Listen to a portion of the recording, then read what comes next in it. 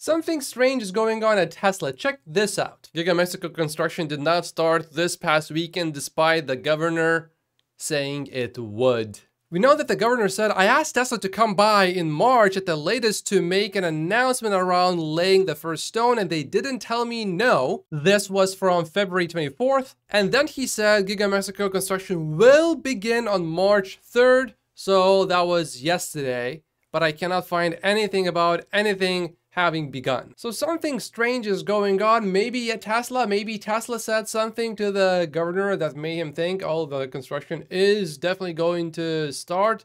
But now maybe things have changed. But the reason for nothing having started yet is not necessarily a bad reason. The governor also said it looks like the plant is going to be bigger than Tesla thought. Anyway, not seeing the construction begin yesterday could be one of the reasons why Tesla stock is presenting us with a buying opportunity today. Tesla is in talks with Thailand's government for a potential production facility in the country, having conducted a site survey late last year, an official from the Prime Minister's office said today. We are not really hearing much about India, and now instead we are hearing about Thailand. And by the way, Thailand is Southeast Asia's largest car producer and exporter and it even has ambitions to become the main EV production hub in the region. It does not necessarily mean that Tesla is going to build a huge factory in the country. It could mean that Tesla is maybe going to build an assembly plant, which is what Troy thinks is going to happen with India specifically. Tesla may also build some sort of a megapack production facility, but it could also be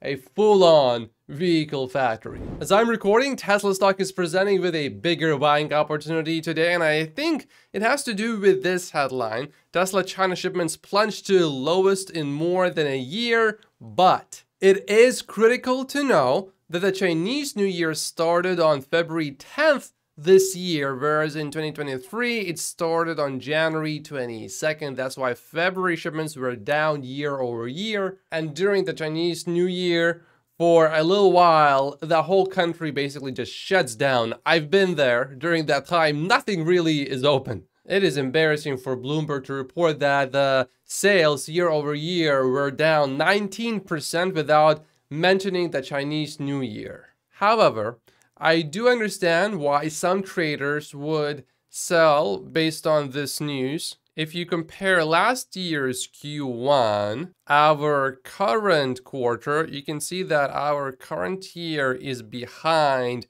last year's first two months so far. And both of them had the Chinese New Year in the first two months, but because it was in February this year, I don't think everything has gone back to normal yet. So even comparing the first two months, I don't think it's a completely fair comparison. We need to have the whole quarter to really have a very fair comparison. And most importantly, the whole new energy vehicle wholesale market, which includes plugins. That whole market is down 34% from January. Tesla, though, is only down 15%. And this is what I have been talking about for almost 18 months or so. When Tesla cuts prices, yeah, there's going to be some pain for Tesla stock. But there's going to be more pain for other companies, which in the short term, it hurts everyone but it hurts the competition a little bit more. And eventually in the long term, it actually gives Tesla an advantage with multiple competitors beginning to fold. And if not folding, then struggling big time. By the way, pretty much every pure BEV automaker is down substantially today, especially the Chinese automakers.